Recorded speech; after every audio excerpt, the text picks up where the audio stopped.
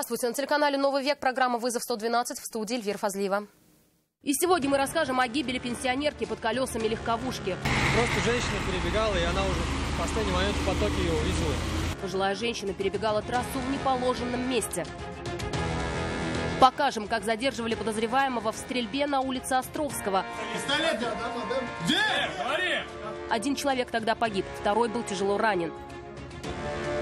А также надевал купальник и приставал к девочкам. Подошел сзади и ударил ее по попке. Так получилось. 34-летний мужчина сознался в серии развратных действий. Это и не только. Прямо сейчас. 62-летняя женщина попала под колеса автомобиля «Лада Калина» в Зеленодольском районе. От полученных травм она скончалась на месте. Как рассказали очевидцы, женщина перебегала дорогу в неположенном месте сквозь плотный поток машин. 31-летняя девушка за рулем отечественного автомобиля увидела ее в самый последний момент. С места трагедии репортаж Айрата Назипова.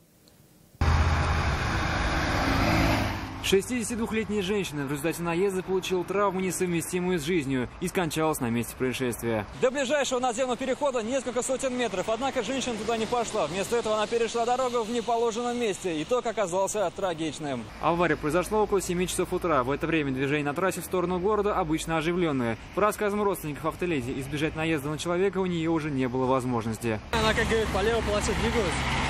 Просто женщина перебегала, и она уже в последний момент в потоке ее увидела.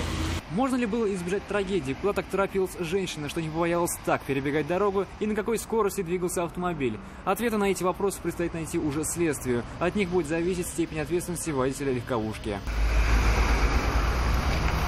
Айрат Назив, Константин Бушуев, вызов 112. Крупная авария произошла сегодня днем на улице Гвардейская.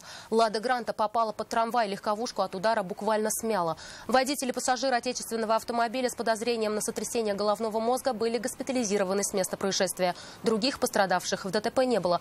Полную картину произошедшего, вероятнее всего, придется устанавливать на разборе в госавтоинспекции. Задержан подозреваемый в убийстве одного человека и огнестрельном ранении другого в центре Казани.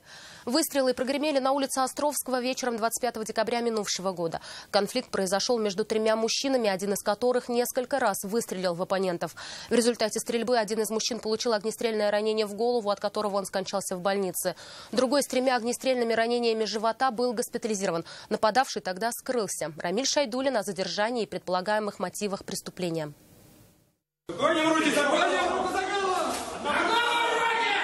Он почти полгода находился в федеральном розыске, а жил совсем рядом в пригороде Казани. Как установили полицейские, подозреваемый снял квартиру в жилом комплексе в Зеленодольском районе. Там его и задержали. Это была совместная операция полиции, ФСБ и Росгвардии. Где пистолет? Пистолет, да, да, да. Где? Говори! В шкафу. В каком? В каком сам? Бочку. Внизу. Внизу есть? Во время проведения обыска по месту жительства у него были обнаружены пистолет и наркотические средства, которые изъяты и направлены для проведения экспертизы ВКЦ МВД по Республике Татарстан. Свидетелями преступления стали множество очевидцев. Все произошедшее было зафиксировано и камерами наблюдения. На съемках видно, как к стоящему автомобилю подходит человек и стреляет в водителя. Он попал ему в плечо и заставил выйти из салона. В завязавшейся драке нападавший стреляет опять, уже в голову. Водитель Ниссана позднее скончался в больнице. Пассажир иномарки попытался остановить мужчину, но получил три огнестрельных ранения в живот и бедро и был госпитализирован. По предварительным данным, мотивом совершения преступления стали личные неприязненные отношения. Следственным органом Следственного комитета Российской Федерации по Республике Татарстан Рамжанову предъявлено обвинение в убийстве, покушении убийства двух или более лиц, а также незаконном хранении оружия. Сейчас задержанного 55-летнего Рената Раимджанова передали следователям и в ближайшее время они планируют обратиться в суд для избрания меры пресечения. Рамиль Шайдулин, Айрат Назипов и Константин Бушуев. Вызов 112. Следственный комитет проводит проверку по факту обнаружения человеческих останков на улице Мусина. О страшной находке сообщили рабочие во время ремонта теплотрассы. По предварительным данным, останки принадлежат мужчине. Предположительно, его смерть наступила до 2012 года, когда последний раз ремонтировалась теплотрасса. Кроме того, при нем обнаружены документы, датированные 2011 годом. Сейчас кости отправлены на экспертизу. За развратные действия в отношении подростка будут судить 45-летнего казанца. По версии следствия, в мае минувшего года мужчина зашел в автобус 90-го маршрута и стал трогать 15-летнего мальчика. После этого он вышел на улицу. О произошедшем подросток сообщил родителям, которые обратились в правоохранительные органы. Следственным органом Следственного комитета Российской Федерации по Республике Татарстан мужчине предъявлено обвинение в совершении развратных действий. При этом причастность к совершению преступления он не признал. Следствием собран достаточно доказательственной базы, в связи с чем уголовное дело с утвержденным обвинительным заключением направлено в суд для рассмотрения по существу. В Казани задержали 34-летнего казанца, подозреваемого в серии развратных действий в отношении школьниц. Жертвами мужчины, по версии следствия, становились девочки в возрасте 11 и 12 лет.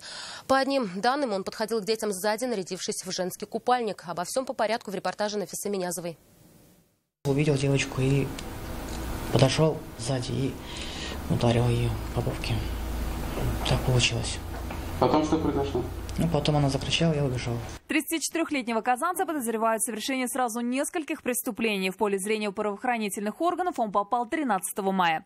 Тогда, по версии следователя, он совершил развратные действия в отношении двух 12-летних девочек. Он, как правило, прятался в кустах и подходил к ним совершенно неожиданно. При этом к одной из них он подошел, э, предварительно сняв футболку, под которой находился купальник. Для удовлетворения своих потребностей мужчина выбрал район улиц Серова и Баттершина. Рядом находится находится школа и гимназия. Вскоре подозреваемого задержали. В ходе обыска его квартиры оперативники обнаружили женские купальники и детские вещи. Выяснились и другие подробности жизни задержанного. Кроме того, были установлены аналогичные факты нападений на девочек 12-летнего и 11-летнего возраста в 2017 и 2018 году. Задержанный свою вину полностью признал. На допросе он заявил, что у него никогда не было друзей и он никогда не встречался с девушками. Следственным управлением СКР по Московскому району города Казани возбуждено уголовное дело по признакам преступления, предусмотренного статьей 132 Уголовного кодекса Российской Федерации «Насильственные действия сексуального характера». Кроме этого, мужчине предъявлено обвинение по статье «Развратные действия, совершенные в отношении лица, достигшего 12-летнего возраста, но не достигшего 14-летнего возраста». Сегодня Кировский районный суд Казани избрал ему меру пресечения. Следователь ходатайствовал о э, избрании меры пресечения